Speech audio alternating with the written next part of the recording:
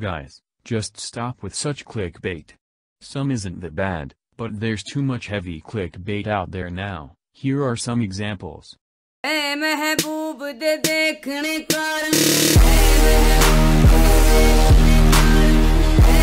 I'm Hillary Clinton, and I approve this message. In times of crisis, America depends on steady leadership. We have breaking news. An American we can confirm now has been killed in Libya tonight. Clear thinking Well,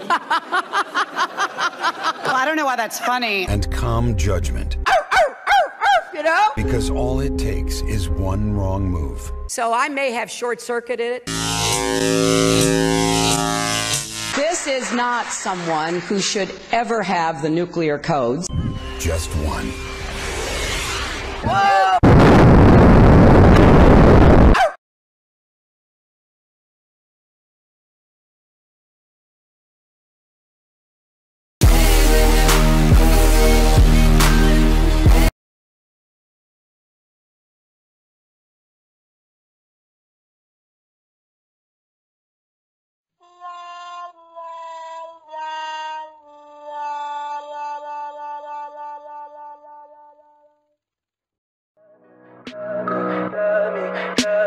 Tell me pretty lies, look me in the face. Tell me that you love me, even if it's fake.